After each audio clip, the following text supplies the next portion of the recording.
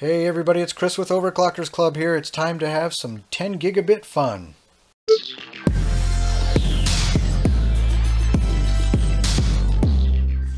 So this has actually been out for a while. It's not new. Uh, I'm trying to build my network here up to have a 10 gigabit backbone, so I figured what the heck, pick one of these up, see how well it works. And uh, I actually got this. This is one of their refurbished units from Amazon. There's a little sticker there.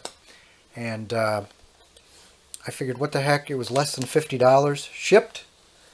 Uh, retail normally is closer to 100 somewhere in that range. So I figured for 50 bucks, if I can get 10 gigabit speeds, even if I can just get close to 10 gigabit speeds, I think it would be a worthy upgrade. So this is normally about the time that I would say let's get it out of the box, but as you can see, it is already out of the box. So let's talk about what's on the box though real quick here. Starting with what's on the front. So course we know it's a 10 gigabit port, PCIe Express, which is your interface there that plugs into your motherboard. Jumbo frames. Uh, let's see, more of the same stuff there. Anything interesting here? Uh, no, nothing all that, nothing really all that exciting. It does have a uh, low profile bracket and it does have a little CD with your uh, drivers on it. So on the back, let's see. Again, PCIe. Okay, so it supports several speeds.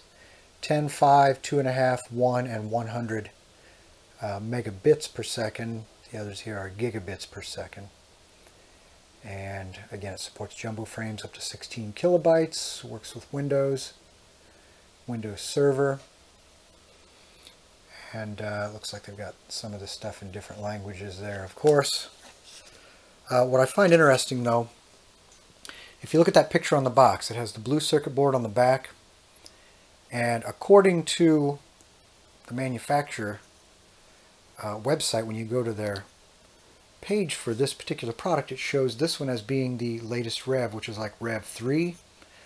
But from what people are saying on the reviews on the Amazon site, uh, when you get the refurb model, you're getting the Rev 2, but the Rev 2 looks different. It has a green circuit board and a very different heat sink. And I looked at the circuit board and looked all over it. I can't really see anything that tells me which rev it is. Sometimes you can see rev 1, 2, or 3 uh, listed right there on the PC board, but I don't see it. So I have this fan on here just to make sure I keep things keep things cool as I stick my thumb in the fan.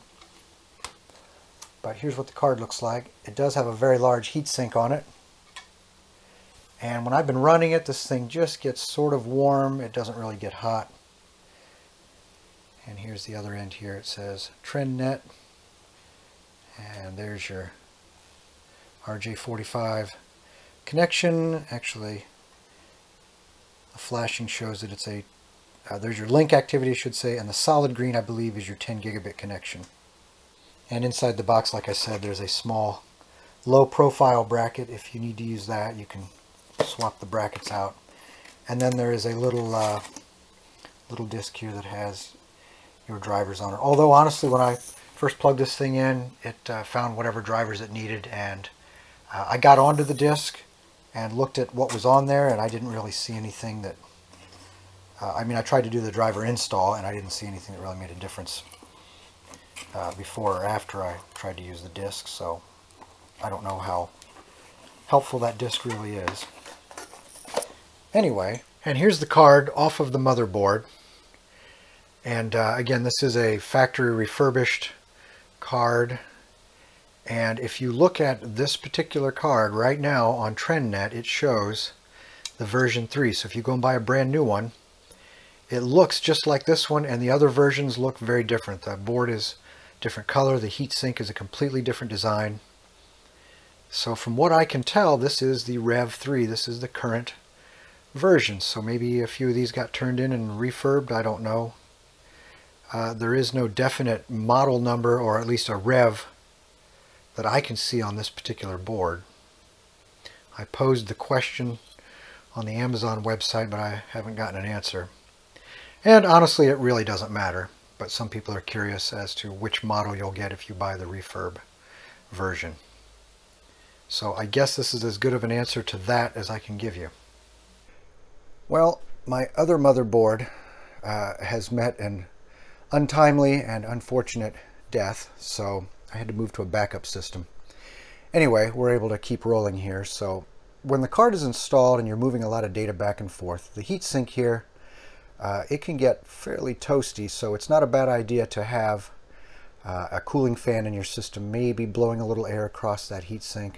Now the way I have it set up now on this motherboard, it's very close to that fan on the graphics card, so ideally I would probably not want to mount it like that. But anyway, the next thing we'll do here is verify the connection speed.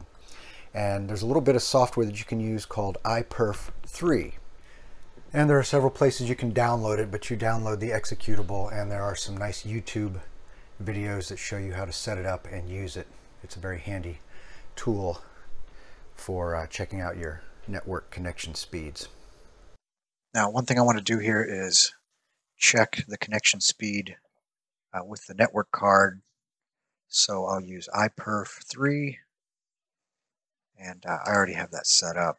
So now we are testing the speed and it looks like we're getting 9.6, 9.8, there's a 10.0, 9.5.